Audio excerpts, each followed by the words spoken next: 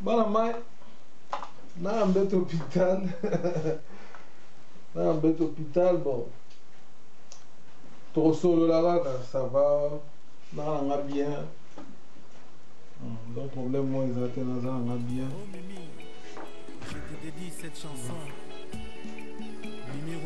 naza na mokala te na kobima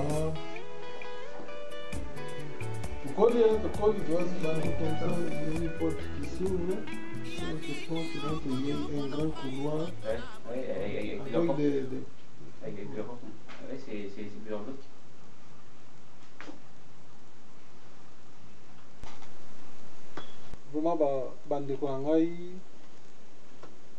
naopesa bino vraiment merci mingi ezala famille na ngai mobimba Baninga na ngai,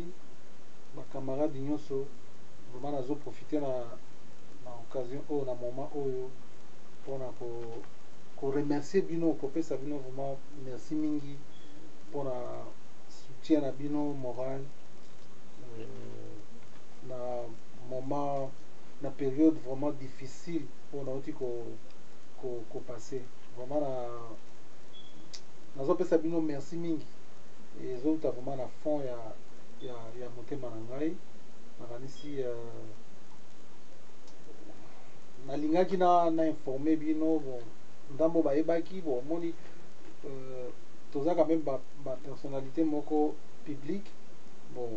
olingaka le mosusu bien na, na ndenge ya information le mosusu okozala na hôpital moto mosusu ayebi yo amoni yo kaka na hôpital bamoni na mbeto hôpital akokenda koraconte ndenge misusu bon na preferaki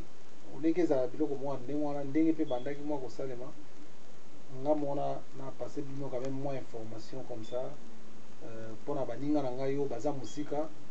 bayeba ndenge na ndenge nazali donc euh, vraiment nasepeli mingi nasepeli mingi na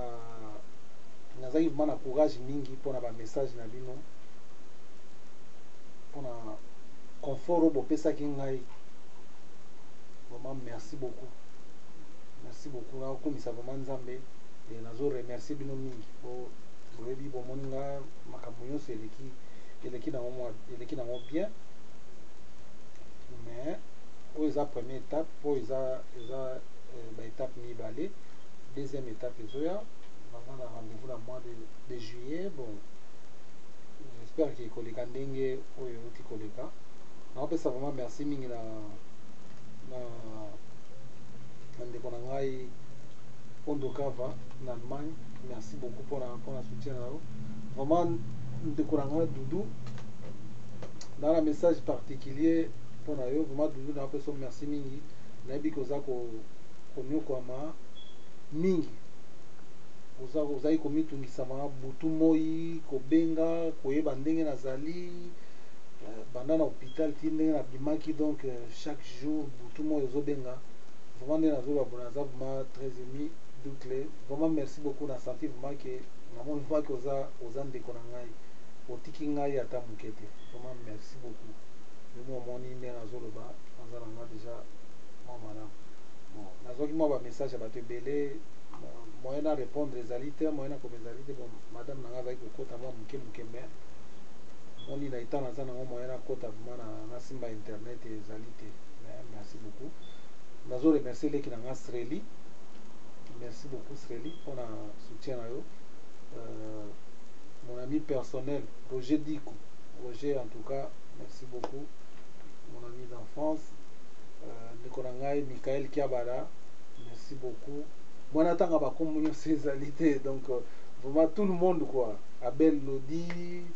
ndeko na ngai, leki na ngai Laurent, merci beaucoup. Na bosani te ndeko na ngai Jimmy Yaba,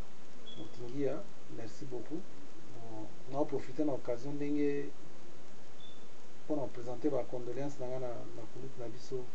Mbuta Mashakado ndenge atikaki biso. Bon, nde nsango na ye eyaki, ngai nazalaki vraiment na, na etat mosusu, nazali na etat mosusu, yango na profiter na Na moment oyo na presenter ba condoleances na nga na famille ya kulutu na nga Mbuta Mashakado, vraiment Nzambe abatela molimo na ye, vraiment asali mingi pona pona Zaiko, vraiment mes condoleances pona epayi ya famille na ye mobimba quoi. Voilà, naza na maloba mingi ya koloba te, nazo pesa bino lisusu kaka merci et puis surtout merci mingi na famille na ngai pona soutien na bango, maman na nga Astride, Pasteur Djemba merci beaucoup na Tido merci mingi Nzambe azo sala naza na ngai donc problème ezali te na lingaki kaka na profiter na occasion pona na pesa bino merci beaucoup pona nyoso bo bosalaki pona nga pona soutien na bino voilà tomoni nazo zanga meme makambo ya, ya koloba c'est tout quoi na pesa bino ka merci Nzambe asunga bino Nzambe apambola bino et Tomonana kala mingi te. Merci beaucoup.